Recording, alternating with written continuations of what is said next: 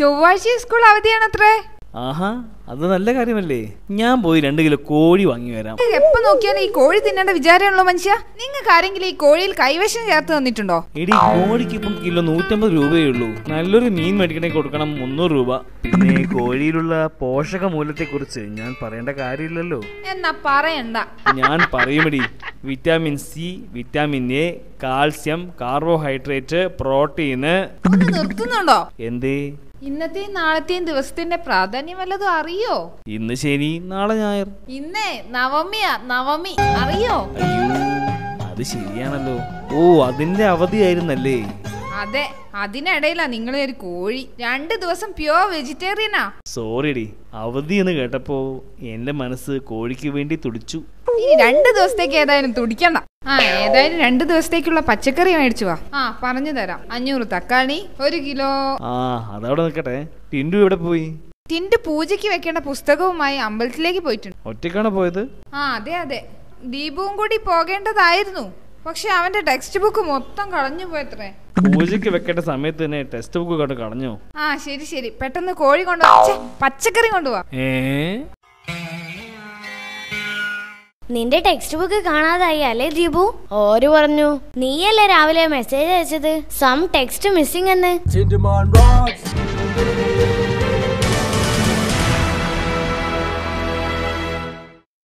ഞാൻ നമ്മളെ ടിൻഡുവിനെ കാണാൻ വന്നേനു. എന്തേ ഇപ്പൊ ടിൻഡുവിനെ കൊണ്ട്? വല്ല കോമഡിയും കേൾക്കാനാണോ?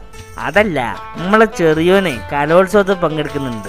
ടിൻഡുവിന്റെ വല്ല കോച്ചിങ്ങും കിട്ടുമോന്ന് അറിയാനാ ഓ അതിനെന്താ? ടിൻഡു മിമിക്രിക്കും മോണോ ആക്ടിനൊക്കെ എന്നും ഫസ്റ്റ് അല്ലേ? അത് ശരി.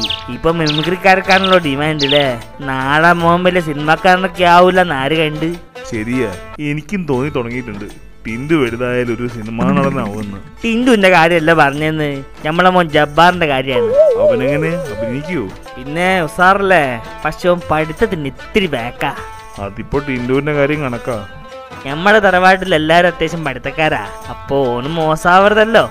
നിങ്ങളുടെ തറവാട്ടിൽ പഠിത്തക്കാരോ? ഒന്ന് പോ മൂസാക്ക. ഞാൻ എട്ടാം ക്ലാസ് പാസ്സല്ലടോ ഉം, ഭയങ്കരം തന്നെ. അല്ല ടിൻഡു ഇപ്രാവശ്യത്തെ കലോത്സവത്തിലൊന്നും പങ്കെടുക്കുന്നില്ലേ? മിമിക്രിക്ക് മോണോ ആക്ടിനൊക്കെ എന്തായാലും അവനുണ്ട്. ഇത്തവണ ചെണ്ട കൊട്ടലിനുണ്ടെന്നാ കേട്ടത്. അല്ലേലോന് മറ്റുള്ളവരെ ചെണ്ട കൊട്ടിക്കാനാണല്ലോ താല്പര്യം. അവനിപ്പോ ചെണ്ട വാങ്ങിത്തരണമെന്ന് പറഞ്ഞ് ഭയങ്കര ബഹളാ. വാങ്ങിക്കൊടുത്താ കൊട്ടി കൊട്ടി സോയിലും തരില്ല. ദേ വരുന്നുണ്ട്.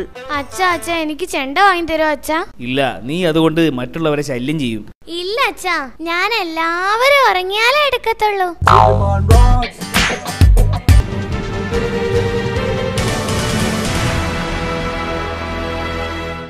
ജോത്സ്യരെ എനിക്ക് പഠിത്തത്തിൽ തീരെ ശ്രദ്ധ കിട്ടുന്നില്ല. എന്താവും കാരണം? സമയദോഷമാവും കാരണം. എന്റെ ജാതകം നോക്കിയാൽ സംഗതി ക്ലിയർ ആയിട്ട് മനസ്സിലാവില്ലേ ഞാനത് കൊണ്ടുവന്നിട്ടുണ്ട്. അതിനെനിക്ക് ജാതകം നോക്കേണ്ട കാര്യമില്ല. കുഞ്ഞേ നിന്റെ നയനങ്ങളിലേക്കൊന്ന് ദർശിച്ചാ മതി. എന്നതാ? കേട്ടിട്ടില്ലേ ശ്ലോകം? ദർശനസ്യ നയനോ താരമർഹസ്യ എന്ന്. നയൻതാരയോ? അല്ല കാവ്യാമാധവൻ. എടാ നിന്റെ കണ്ണ് നോക്കിയാ മതി. എനിക്കെല്ലാം പറയാൻ പറ്റും. അപ്പൊ താങ്കൾക്ക് ജാതകം നോക്കാൻ അറിയില്ല. സംഗതി തട്ടിപ്പാണല്ലേ? എടാ ജാതകം നോക്കേണ്ട ആവശ്യം വരുന്നില്ല എന്ന് ഞാൻ പറഞ്ഞില്ലേ? ജ്യോതിഷവും ജ്യോതിശാസ്ത്രവും അരച്ച് കലക്കി കുടിച്ചവനായി ഞാൻ. എനിക്കും തരുമോ എന്ത്? അല്ല നേരത്തെ പറഞ്ഞ അരച്ചു കലക്കിയ സാധനം. ആട് ശരിയല്ലല്ലോ. ആ അടുത്ത നമ്പർ ഇട്ട് നോക്കാം. നിന്റെ ഈ ഓർമ്മക്കുറവിന് പരിഹാരമുണ്ട് മകനെ. ഇത് ഗുളികന്റെ അപഹാരം കൊണ്ടുണ്ടായതാ. പ്രശ്നമാണ്. അതിനെന്താ ചെയ്യാ? ഗുളിക കഴിച്ചാ മതിയോ? ഒരു വഴിയുണ്ട്. കാളി ക്ഷേത്രത്തിൽ പതിനഞ്ച് ദിവസം തുടർച്ചയായി രക്തപുഷ്പാഞ്ജലി നടത്തണം. ഉവ് രണ്ട് നാൽക്കാലികളെ കാലൈ ക്ഷേത്രത്തിൽ ബലി കൊടുക്കണം കേട്ടോ.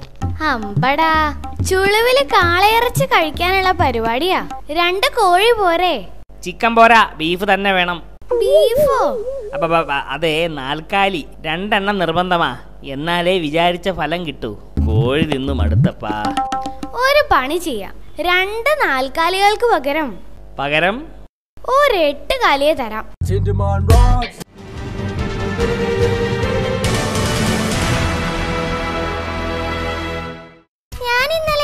പുതിയ കളിക്കുടുക്ക വാങ്ങി തരണമെന്ന് പറഞ്ഞിട്ട് നീ വാങ്ങി തന്നോ? ഇത് എന്തൊരു കഷ്ടമാ. ഞാൻ എന്തിനാ നിനക്ക് ഇതൊക്കെ വാങ്ങി തരുന്നത്? എന്നാ ശരി എനിക്ക് ലോലിപോപ്പ് വാങ്ങി താ. പിന്നെ ഇത് തന്നെ. എനിക്കിതല്ലേ പണി? ടിൻഡു എന്റെ ക്ഷമ നീ പരീക്ഷിക്കരുത്. എനിക്ക് എന്തേലും വാങ്ങി തരണം. എന്താ നിന്റെ വിചാരം? ഞാൻ എന്തിനാ നിനക്ക് ഇതൊക്കെ വാങ്ങി തരേണ്ട കാര്യം? ടിൻഡു നീ ആൾ തീരെ ശരിയല്ല. ഏ? ഞാൻ എന്താ ചെയ്തെന്നാ? ദീപ് പറഞ്ഞല്ലോ നിനക്ക് എന്നെ വലിയ കാര്യമാണെന്ന്. കാര്യമൊക്കെ തന്നെയാ. പിന്നെ അവൻ പറഞ്ഞു നിനക്ക് എന്നോട് ഭയങ്കര ആരാധനയാണെന്ന്. എന്നെ നീ ദൈവത്തെ പോലെയാണ് കാണുന്നത് എന്നൊക്കെ. അവൻ അതൊക്കെ പറഞ്ഞോ? പറഞ്ഞു. അതങ്ങനെ ഒരു ഇതിലങ്ങ് പറഞ്ഞു പോയതാ. അഥവാ നീ എന്നെ ദൈവത്തെ പോലെ കരുതുന്നെങ്കിൽ ഞാൻ പറഞ്ഞതൊന്നും മേടിച്ചു തരാത്തെന്താ അത് നിനക്ക് നാണമില്ലേ നാട്ടുകാരുടെ മുഴുവൻ? വെറുതെ അതും ഇതും പറഞ്ഞെടുക്കാൻ എന്ത്? എന്നെ നീ ദൈവത്തെ പോലെയാണ് കാണുന്നത് എന്നൊക്കെ? അത് പറയാൻ എനിക്ക് നാണമില്ല. അതെന്താ? ഞാൻ നിന്നെ ദൈവത്തെ പോലെയാണ് കാണുന്നത് എന്ന് പറഞ്ഞത് ശരിയാ. കാരണം ദൈവത്തിന് ആരേലും കളിക്കുടുക്കി ലോലിപോപ്പ് ഒന്നും മേടിച്ചു കൊടുക്കുന്നില്ലല്ലോ.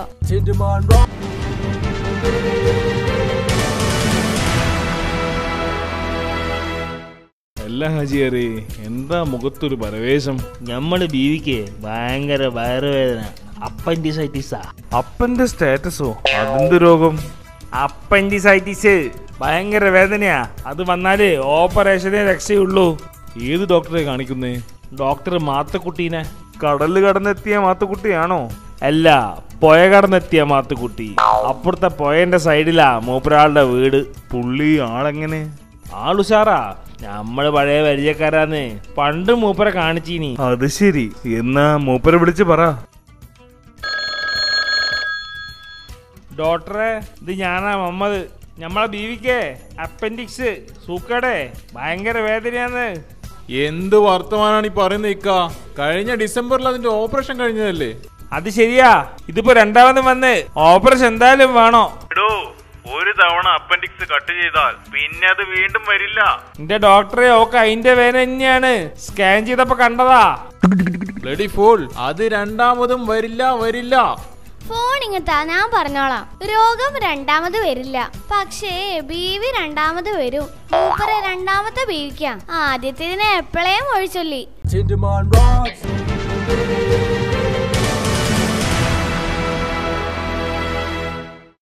Tinderman വെളിച്ചെണ്ണല്ലോ അയ്യോ ഞാനത് മറന്നു. സോറി വല്ലാതെ സോറണ്ട. ഞാൻ തന്നെ പോവാ. ഞാനും വരുന്നു. അമ്മേ നോക്ക് നമുക്ക് ഈ ഓയിൽ മതി. എന്താ അത് തന്നെ വേണമെന്ന് നീ വാശി പിടിക്കുന്നേ? പ്ലീസ് എന്താ ഒരു ഭംഗി? അതിന് കന്നാസ് കണ്ടില്ലേ? അവന്റെ ഒരു കന്നാസും കടലാസും. അതൊന്നും വേണ്ട. ഏതോ പൊട്ട കമ്പനിയാ. അമ്മേ പ്ലീസ് ഇത് തന്നെ മതി. എന്നാൽ എന്തെങ്കിലും ഫ്രീ കാണും. വല്ല സ്റ്റിക്കറോ ടാറ്റുവോ? അമ്മയ്ക്ക് സംഗതി മനസ്സിലായി അല്ലേ? ഇത് സ്റ്റിക്കറും ടാറ്റുവോ ഒന്നല്ല ഫ്രീ വേറെന്താ വലുതാ ഗിഫ്റ്റ് ആ ശരി ശരി. അത് തന്നെ മേടിച്ചോ. ദേ ഞാനിപ്പോ വരാമേ. ചേട്ടാ ഒന്ന് പെട്ടെന്താ വേഗം പോണം. ദാ എടുത്തോ. അല്ല സാധനം എവിടെ? ആ മുതലല്ലേ ഈ ഇരിക്കുന്നത്. അതല്ല ഫ്രീ കിട്ടിയ സാധനം. ഇതിന്റെ കൂടെ ഫ്രീ ഗിഫ്റ്റ് ഒന്നും ഇല്ലല്ലോ കുട്ടാ. ആഹാ ഗിഫ്റ്റ് ഉണ്ടെന്ന് കരുതിയ ഈ പൊട്ട ഓയിൽ വാങ്ങിയത്. അറിയോ? എടാ നിന്നോടല്ലേ പറഞ്ഞത്. ഇതിന്റെ കൂടെ ഫ്രീ ഗിഫ്റ്റ് ഒന്നും ഇല്ല. എന്നാൽ താൻ തന്നെ നോക്ക്.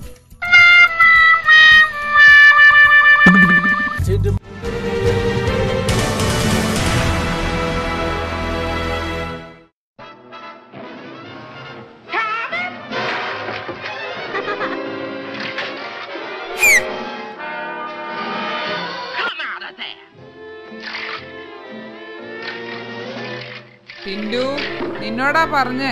പോയി കിടക്കാൻ നോക്ക്. അമ്മേ പ്ലീസ് ഒരു പത്ത് മിനിറ്റ് കൂടെ കാണട്ടെ? ടിൻഡു നിന്നോടാ പറഞ്ഞേ. പോയി കിടക്കാൻ നോക്ക്. അമ്മ ഇപ്പൊ കിടക്കാം. ഗഫൂർക്ക ദിവസം കൂടെ ഒന്ന് കഴിഞ്ഞോട്ടെ. എന്നിട്ട് കിടക്കാം. അപ്പറഞ്ഞ നേരെ തന്നെ സമ്മതിച്ച്. ഇതെന്താ ടി വി അടിച്ചു പോയോ? ടി വി അടിച്ചു പോയതല്ല ഞാൻ ഓഫ് ചെയ്തതോ. എന്റെ കയ്യിൽ നിന്ന് വെറുതെ അടി മേടിക്കണ്ടെങ്കിൽ പോയി കിടക്ക്.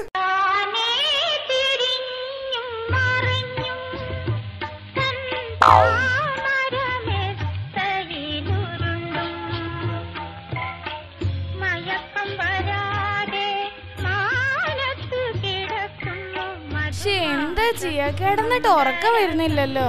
ആ കിട്ടിപ്പോയി. ആ റിങ് ചെയ്യുന്നുണ്ട്. ആരാ ഈ പാതിരാത്രി? ഒന്ന് വായിക്കാനും സമ്മതിക്കില്ല. ഹലോ? എന്താ ടിൻഡു മോനെ ഈ രാത്രി വിളിക്കുന്നത് ടീച്ചർ ഇന്ന് ക്ലാസ്സിലെടുത്ത ഭാഗം ഒന്നുകൂടി എനിക്കിപ്പോ പറഞ്ഞു തരോ അതെന്താ? ടിൻഡു മോൻ ആ ചാപ്റ്റർ അത്രയ്ക്ക് ഇഷ്ടായോ? അതുകൊണ്ടല്ല.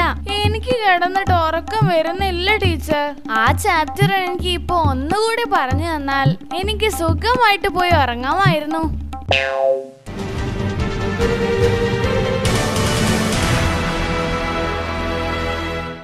ദേ പയ്യൻ ഇങ്ങോട്ട് വാ. സർ എന്താ വേണ്ടത്? എന്തൊക്കെയാ കഴിക്കാനുള്ളത്? ഊണുണ്ട്. പിന്നെ ബിരിയാണി നെയ്ച്ചോറ് ഫ്രൈഡ് റൈസ് പൊറോട്ട.